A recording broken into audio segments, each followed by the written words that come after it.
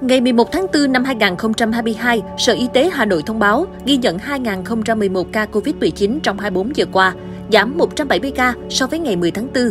Đông Anh, Hoàng Mai là hai quận ghi nhận số ca cao nhất. Bệnh nhân phân bố tại 305 xã, phường, thị trấn thuộc 30 trên 30 quận, huyện, thị xã. Một số quận huyện ghi nhận nhiều bệnh nhân trong ngày như Đông Anh 188, Hoàng Mai 186, Gia Lâm 186, Sóc Sơn 185, Hà Đông 155. Từ ngày 29 tháng 4 năm 2021 đến nay, Hà Nội ghi nhận và thông báo hơn 1,52 triệu ca COVID-19 với 1.331 ca tử vong, chiếm tỷ lệ 0,08% tổng số ca mắc.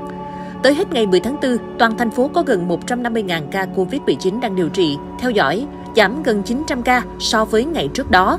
Trong đó, số ca phải điều trị ở bệnh viện chỉ còn 630 ca, giảm 24 ca.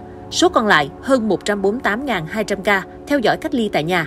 Về tiêm vaccine COVID-19, các trung tâm y tế quận, huyện, thị xã và Trung tâm Kiểm soát Bệnh tật CDC Hà Nội báo cáo đã tiêm được gần 4,2 triệu liều nhắc lại, đạt 88%.